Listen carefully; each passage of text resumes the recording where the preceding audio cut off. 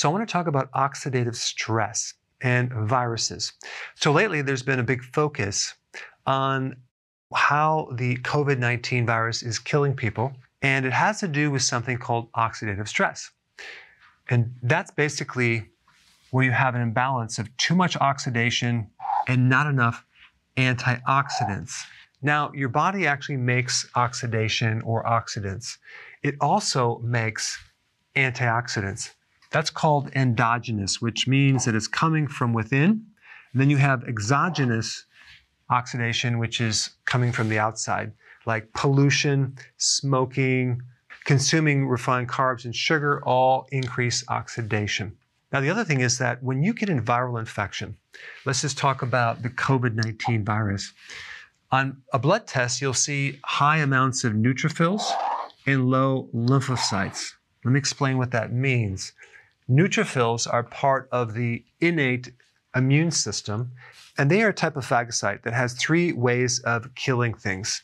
It can release chemicals that kill the pathogen, it can eat the pathogen, it can also throw a net over the pathogen and kill it that way as well, because there are certain chemicals that are released.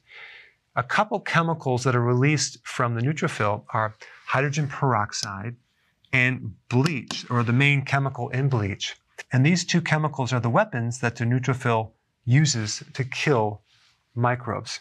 And they create a lot of oxidation. So we have our own immune system that is creating this oxidation in response to COVID 19 or some other virus.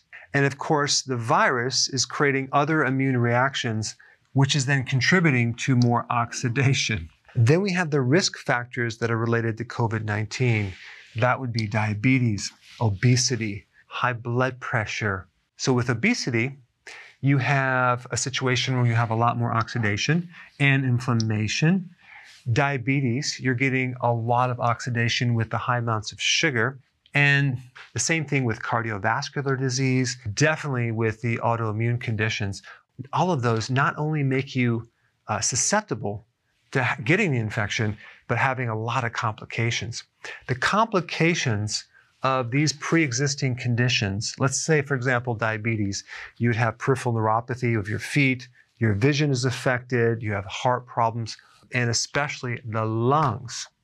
The other problem with having a pre existing health problem is that when you do, your endogenous antioxidants which means the amount of antioxidants that your body is making is way, way less. So we have this imbalance that's created with the virus itself, and then the immune system reaction, which creates more of this.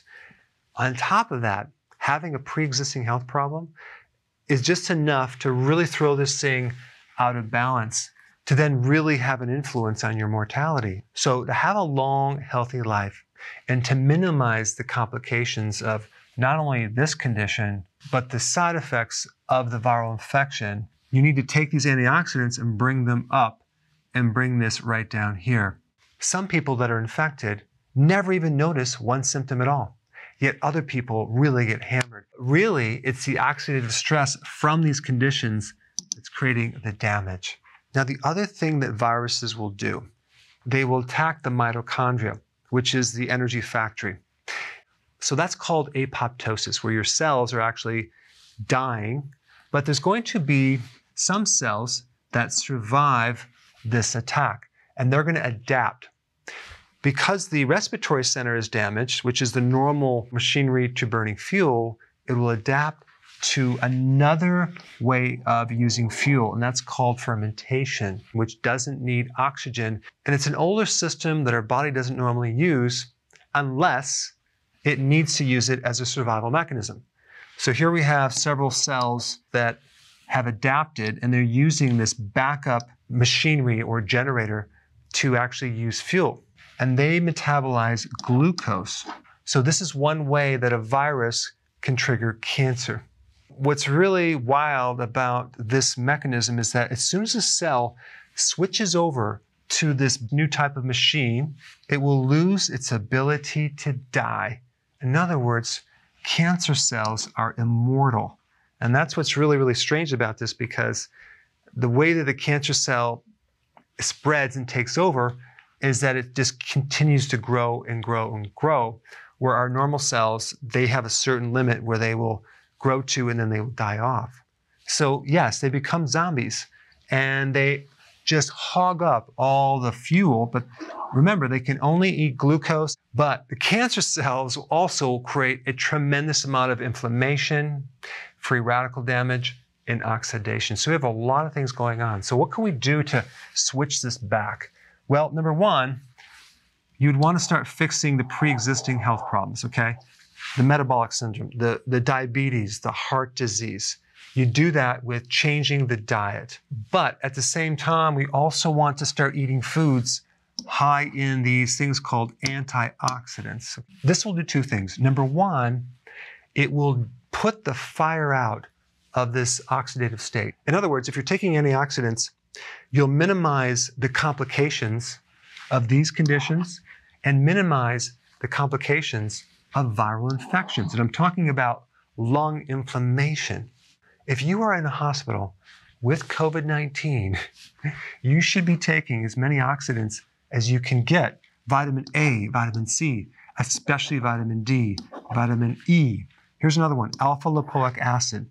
Then you have trace minerals that act as antioxidants copper, zinc, especially zinc. Selenium is a big one.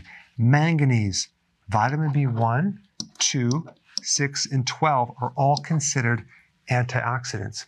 Having good microbes also will help increase your antioxidants. So if you get an antibiotic, guess what? You wipe out the good bacteria and your antioxidants go down. Another really good antioxidant is called NAC. This antioxidant is used for Tylenol poisoning because Tylenol will destroy the liver. If you take this, it will reduce the amount of oxidation Quercetin is a really good one, especially for um, people that have allergies, that have a lot of inflammation. Uh, fasting will increase your network of antioxidants. Very, very important to know about that. Exercise will also increase your network of your endogenous antioxidants. And getting enough sleep will also increase this so we can actually decrease this right here. Now, if you haven't seen this video right here, this is the next one you need to watch. Check it out.